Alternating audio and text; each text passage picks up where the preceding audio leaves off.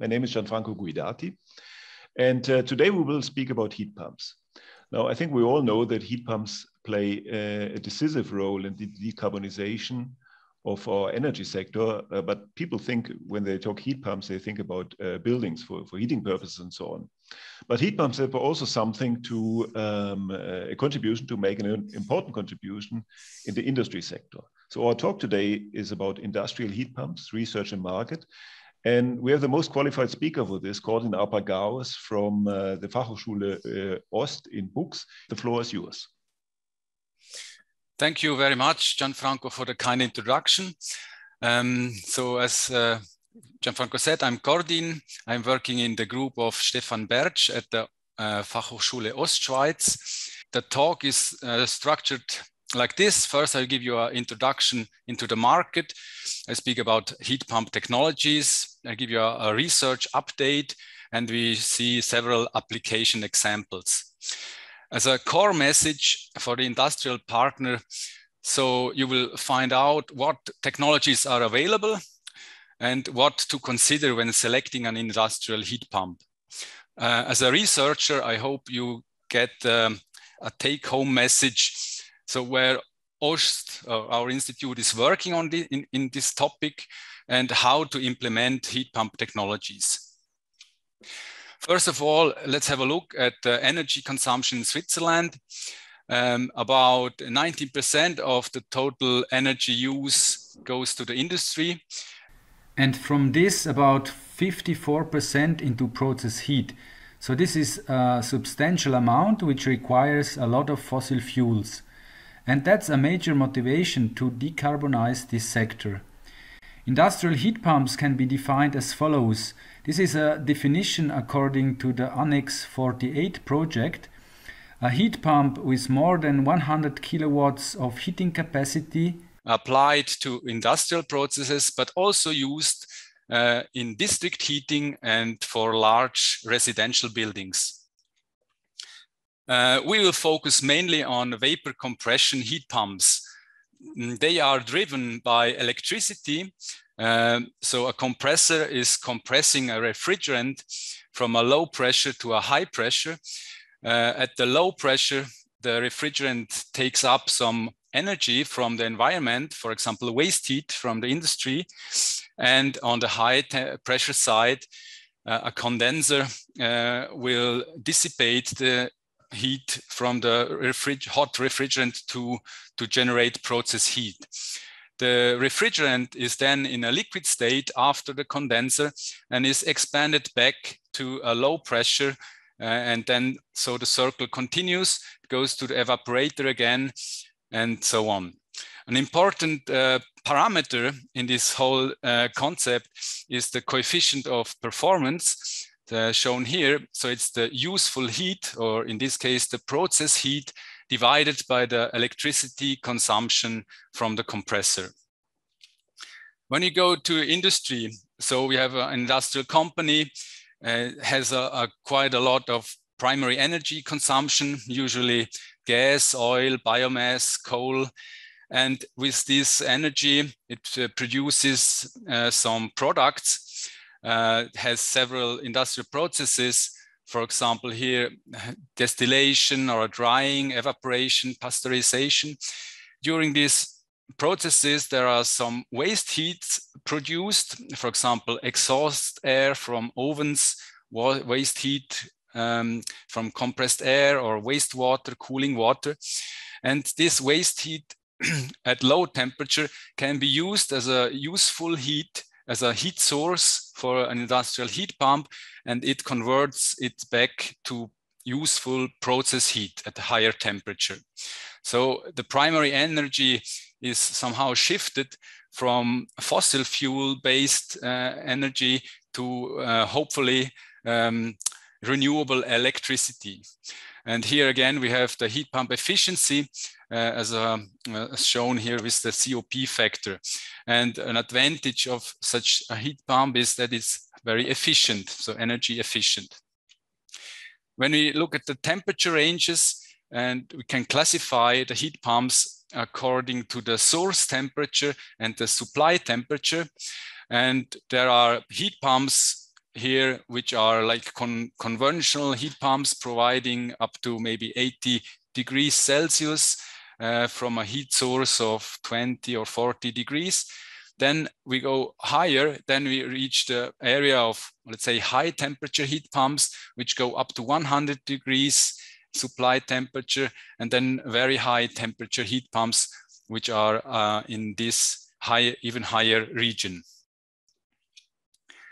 Um, when we look at the sales statistics in Switzerland, and when we compare heat pumps to oil and gas boilers, we can see that the units uh, at the low uh, capacity range um, are between, for example, here 5 to 13 kilowatts. There we have many, many heat pumps. So these are the residential sector, the single family houses. Um, and then when we go to higher capacity, the, the oil and gas boilers are more units. And this can be converted to the heating capacity. So multiplying the units by the, the heating capacity. And so then we can see that at the higher capacity, there are many, much more oil and gas um, used. So this is dominating. And so here we can uh, really see the potential for decarbonization of the Swiss industry. Another important uh, parameter uh, is uh, the price ratio uh, between the electricity and gas. And this is somehow um, illustrating the market attractiveness of, of a heat pump. And so we have here Europe with uh, different countries and um, in color the price ratio. And here we can see in the Scandinavian countries, the ratio is uh, low or let's say around one or a little bit higher than one. So electricity is, uh, is very much in favor. So here we will expect um, quite a lot of heat pump installations. But then there are other countries where the gas is very cheap and, and therefore the price ratio high. And so heat pumps have have a hard a hard time to be implemented to be economic, economically um, mm, feasible. So there are some challenges uh, for the further spread of industrial heat pumps. First of all, a low level of awareness uh, between several stakeholders in this whole value chain. So this, uh, um, that's the reason we, we want to make presentations and inform the audience about this technology. Also, how to integrate uh, a heat pump in industrial processes in a retrofit situation, for example the challenges in the size of the heat pump. Some heat pumps are, let's say, factory made, so we can have a, a benefit from economy of scale in the production. But uh, many heat pumps in large scale are unique heat pumps and tailor made. So it needs some engineers uh, which uh, integrate these uh, systems. Then the amortization periods are typically longer than a gas boiler that's also an effect of the price ratio. And we have other technologies for heating, like other renewable energies, uh, for example, biomass, biogas, or solar thermal. Then there are uh, typically requirements for heat storage because a heat pump usually likes to run continuously. And so um, but uh, it has to fit the, the heat demand on the industrial uh, process. And there is also a challenge in the components of a heat pump. So the core component is the compressor, and they have to be, let's say, uh, high temperature stable. And there is some um, um, research needed here. And also the refrigerant, which is the working fluid. Uh, there are some new ones which will be um, used in, in, the market in the future. Here we have a picture um, or several heat pump systems. Uh, I don't want to go into too much detail, but um, you can see there are several manufacturers and from different countries starting from Japan, then to Norway, Austria, Germany, UK, and so on. Then the, the systems are typically a little bit larger than in a house. So, the, so they are installed in a machine room, uh, several meters uh, size. but you can also see that the heat pump cycle, so the, the internal design can vary depending on the heat pump uh, type. So there are the different refrigerants used and also different cycle designs. Uh, on that slide are some other um, brands and producers uh, from Austria, for example, also in Switzerland, uh, Friotherm, which uh, produces very large heat pumps, then from Finland, uh, Denmark, and Japan again. So if you are more interested in the exact uh, details of these systems, we can uh, uh, discuss this maybe in another presentation. what we put is the, the heat pumps in one graph. So it shows the, the heat supply temperature here on the left from these products as a function of the heating capacity. This is a, in a logarithmic scale. So 1000 kilowatts, uh, one megawatt is here, 100 kilowatts here. And the colors are the, the, the compressor types which are used in these systems. So the first three or the, the top three products um, are shown here. So it's uh, the one from Kobelco. It's a Japanese um, product producing steam up to 165 degrees. Uh, then we have uh, the heat booster from Viking. Uh, the company has changed the name, uh, but uh, it's using a hydrofluor olefin refrigerant and also reaches 160 degrees. And then we have Ochsner, Ochsner heat pumps from Austria, which also reach high temperatures at 130 degrees. And then there are others, you can see that they go into 10 megawatt scale uh, using turbo machinery or screw compressors. Uh, an important um, factor is the refrigerant, so the working fluid, which is uh, evaporated and condensed in these heat pumps. And there are some which need to be replaced in the future because they if they leak out, they would produce uh, larger global warming potential, global warming. And so there are some alternative refrigerants which, uh, which are researched and used. For example, uh, these uh, hydrofluorolefins, um, but you also can see here uh, CO2, uh, then some others, uh, HFOs, then ammonia, ammonia up to maybe 90 degrees. It's very much used. When you look at the costs, we have the specific investment costs here in euros per kilowatt heating capacity, and it typically shows this curve. So you can expect a 500 kilowatt heat pump at around 500 euros uh, per kilowatt. The COPs, the coefficient of performance, um, is shown here as a function of the temperature lift, which is the temperature difference between the source, heat source and the heat sink. And we can expect a COP of four uh, at around 50 Kelvin or uh, lift. So these are measurements uh, from field data. And uh, so a COP of four or three in this range uh, seems also to be economical feasible. Then there are some large scale heat pumps, um, which have a heating capacity lar larger than one megawatt.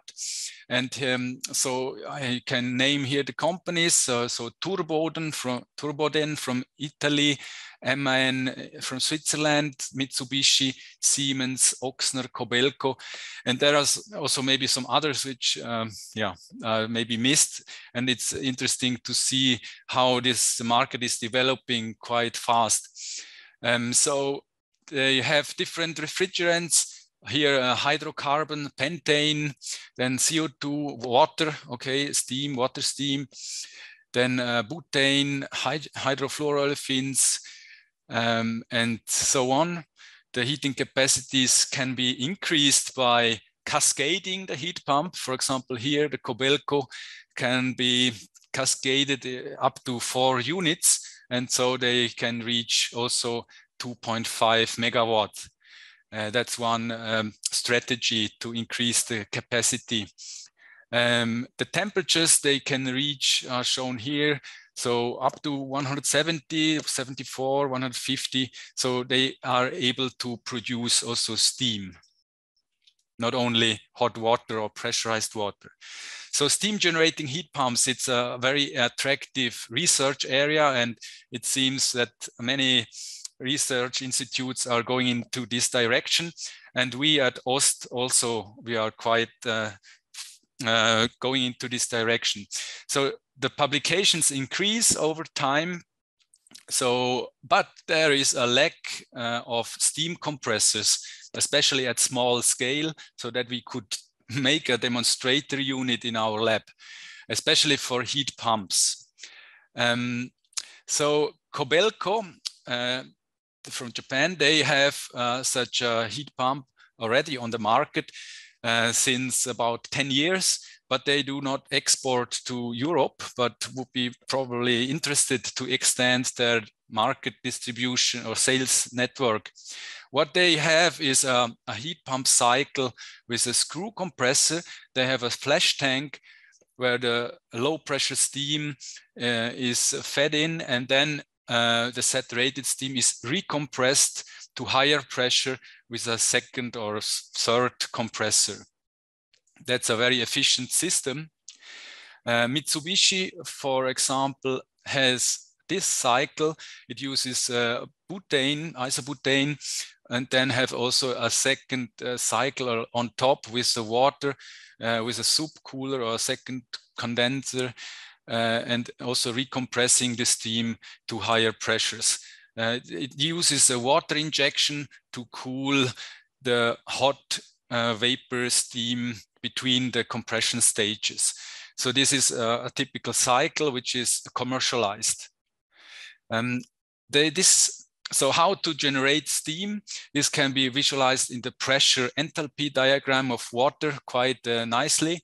So we have water here at one pressure, uh, one bar, um, so normal feed water. What we could do is uh, compress it with a pump to higher pressure and then evaporate and reach the steam. So that's a typical uh, system here.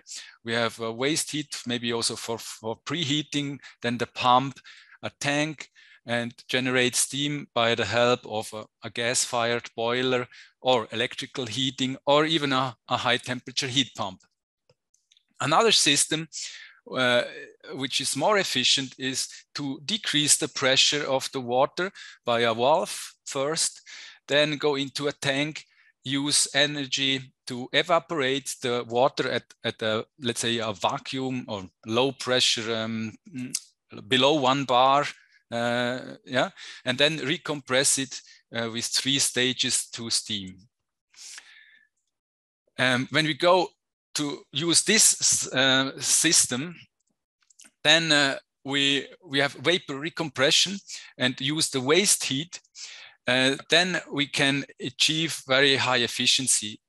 And this uh, is shown here. So if you compare, for example, a natural gas boiler, which uh, needs this amount of energy with the vapor recompression, we are uh, four times more efficient. Or when you look at the CO2 emissions, it's also a factor of 20, uh, sorry, uh, much lower. So these are interesting uh, cycles. Um, and here I have a slide uh, showing heat pump technologies for large temperature glides. So what does it mean? We have, for example, a situation to heat up uh, a stream from a lower temperature to a higher temperature, uh, maybe 40, 50 degrees. For such applications, there are special heat pump technologies which can be used. The first one is shown here, a subcritical cycle with a subcooler. Here, the condenser uh, stage is somehow split into two stages. That's a, a possibility. Then we have, for example, a two-state two-stage extraction cycle. So here uh, the water comes in here into an intermediate uh, heat exchanger and then a second one, which also provides a large temperature difference or a large, large temperature glide. Then, uh, sorry, then we have the two parallel subcritical cycles. So two heat pumps in parallel. or we have a reversed Brayton cycle used in the rotational heat pump from ECOP from Austria. They have um, a totally um, gas phase cycle with a noble gas. That's also a possibility to produce hot air or to produce hot water. Then there are transcritical CO2 cycle, which have um, these characteristics uh, totally in the gas as uh, in the supercritical phase with gas coolers, maybe one or two gas coolers to split this whole temperature difference. Then we have other transcritical cycles for hydrocarbons, HFOs, which are interesting to look at. Then hybrid heat pump with ammonia and uh, water. So it's uh, splitting the condensed and evap uh, desorbed. So it's absorption, absorption, desorption process. Um, yeah, provides this glide or refrigerant mixtures. So we could also have a working fluid, not only a pure one a pure fluid, but some mixtures which provide special uh, thermodynamic properties. Um, so transcritical cycles um, are interesting to look at, especially to reach higher temperatures up to maybe 200 degrees. And when we have very large um, temperature glides on the heat sink side. So we also have the evaporation. Uh, so it's a, a, temperature entropy diagram. Then uh, we compress uh, the gas to higher pressure, and then it's not a gas condensation, but a gas cooler, uh, and then expansion back to the lower pressure. Um, when we look here at CO2, which is um, very much discussed and used, um, we have this situation. We have we have a critical point of CO2 of 31 degrees. So the heat source has to be lower than that, then it works. Then we can compress it to higher temperature, maybe 80, 130 degrees, and cool it down. When you use butane in a transcritical cycle, then we are, for example, more flexible in the waste heat or in the source temperature. That would be more interesting for industrial applications where the waste heat is uh, at such temperature levels. And then here we reach 150, 200 degrees. So this could be, for example, used in, to produce hot air from flue gas. Um, okay, but, but, there are other uh, refrigerants also where, where, where, we could run it in a, in a transcritical cycle. Um, but the message here is that quite high COPs of around three can be reached depending on the cycle and the transcritical conditions. Uh, but some research is still needed in this direction.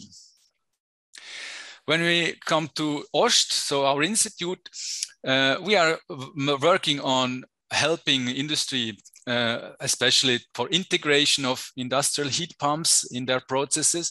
We look at case studies of successful applications. We will uh, have projects for demonstration of steam generating heat pumps we are testing some refrigerants at high temperature with some lab units. And we also um, try to optimize the heat pump technologies to fit the temperature demands.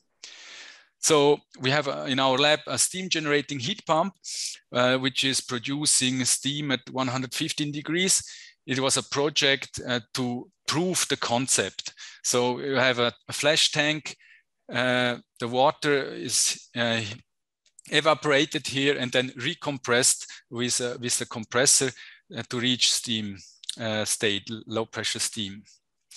Then we have a heat pump producing 150 degrees and we tested several refrigerants which are synthetic, so hydrofluorolefins with these numbers here. Uh, and they, they will be used in industry uh, for, for such uh, yeah, large scale heat pumps.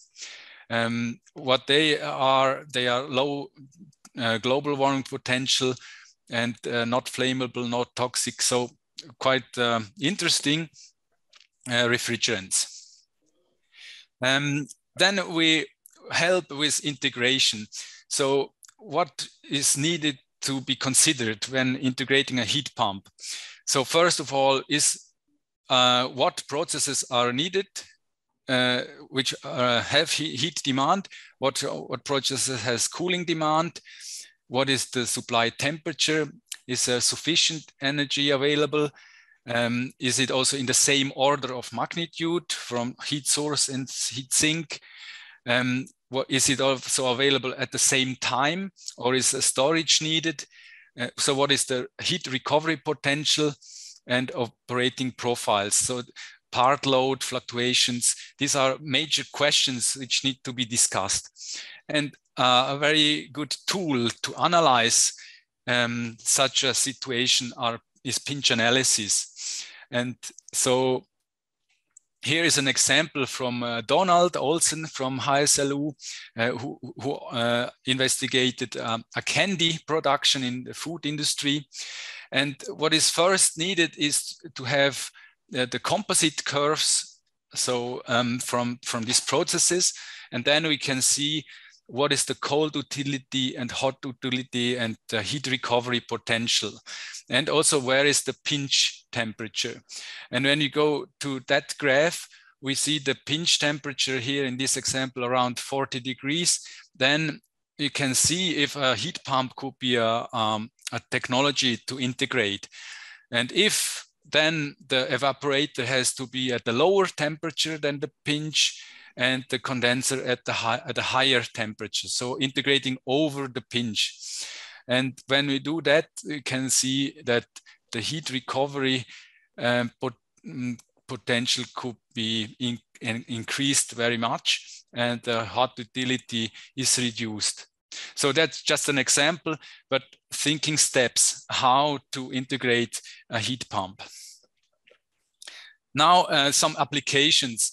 Uh, we looked at uh, applications in Switzerland and summarized several in a, in a report from SFOE, which is available here uh, for download. So we looked at 25 uh, case studies of industrial heat pumps at several places uh, in Switzerland. Here is a, a, map with the locations of these heat pumps. so they were, um, let's say, uh, um, open to share their data with us. So it's not, let's say, representative for Switzerland. Uh, I'm sure in, in Ticino there are also heat pumps and in, in Canton Val and so on. But anyway, in this report, we analyzed 25 case studies of industrial heat pumps. So here is the list uh, they are in different sectors, mainly food, for example, uh, producing hot water and so on for heating purposes. And you see the temperatures which uh, were there uh, for the source, the blue, and the, the heat sink, the red ones. Uh, the highest was around 95 degrees in a in, uh, in, in Landi to pro produce hot water for, for cleaning uh, uh, wine bottles and so on. And you can also see the integration level. So the process level or plant level or network like district heating. So that, that would be some criteria to, yeah, to analyze uh, case studies. The capacities of the heat pumps were here in several one hundreds of, uh, of uh, kilowatts. Uh, for the district heating, they are already megawatt scale. Okay, so we also analyzed the energy savings and the CO2 emissions reduction. And as a rule of thumb, we can say that around 20 to 80% energy savings are reached and CO2 emissions 30 to 90% can be reduced.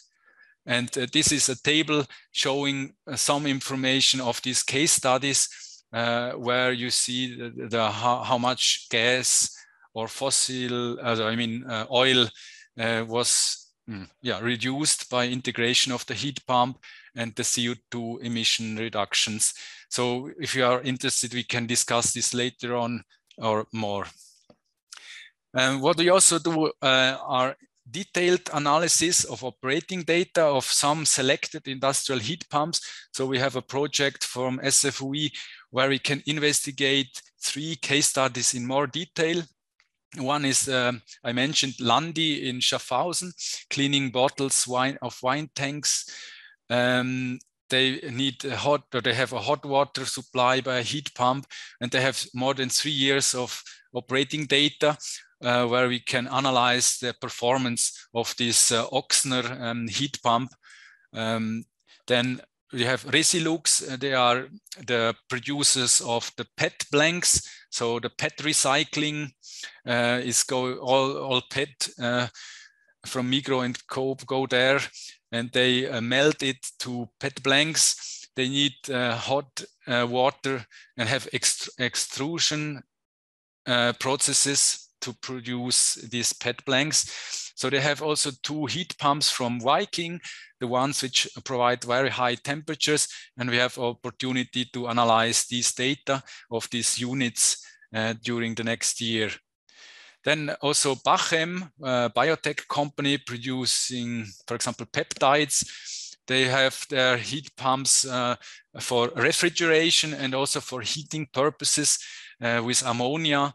And also there we have uh, opportunity to analyze the data. So this will be also useful uh, examples to see if there are some multiplication potential of heat pumps in Switzerland. So I'm come to my to the end of my talk.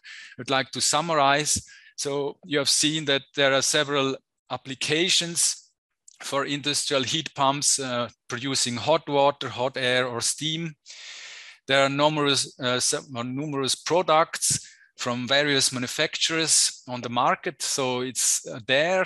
So the, the technology is there. So now it's about integration and techno-economical analysis of, of these uh, situations. The COP uh, is around four at 50 Kelvin temperature lift. So that, that can be expected uh, from field uh, test data, but depends on the temperature conditions. Um, then we have seen several heat pump cycles and technologies. So some cycles are very useful to reach large temperature glides. Then there are other cycles which are suited for steam generation. And then there are also some cycles which are used for very large heat pumps in the megawatt range. So the heat pump integration is a task for engineers and needs some experience. And so it's also case by case, uh, depends on that. And there is quite a high research activity worldwide in many countries, especially here also in, in Korea, Japan, in China, but uh, for sure also in, in Europe. And when we look at the refrigerants, so there is a trend towards natural refrigerants. So these are CO2, uh, water, but also hydrocarbons like butane or pentane, uh, and also for sure ammonia, and synthetic uh, HFO refrigerants, which have low global warming potential. So this is the last slide. Um, yeah, we have several references. Also here the book uh, Gianfranco mentioned, and also um, a white paper where we were contributing uh, to strengthen industrial heat pumps in industry. Thank you for your attention. Thank you, Cordin. Thanks a lot for this excellent overview.